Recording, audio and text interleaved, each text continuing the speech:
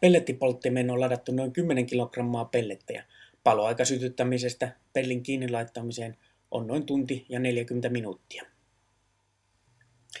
Tehokas palaminen syntyy niin, että kaikki palamiseen tarvittava ilma ohjataan pellettipolttimen läpi.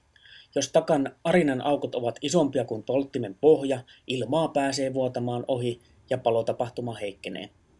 Tämä tarkoittaa sitä, että takan arinan aukkoja on tilapäisesti peitettävä vaikka pellin palalla niin, että takkaan pääsee ilmaa vain pellettipolttimen kautta. Tästä syntyy erittäin hyvä veto. Tulisihan pellin saa tietenkin sulkea vasta sitten, kun on varmistautunut palamisen päättymisestä. Polttimen kyljessä oleva tarkkailuaukko on turha, koska palamisen seuraamisen oppii varsin pian.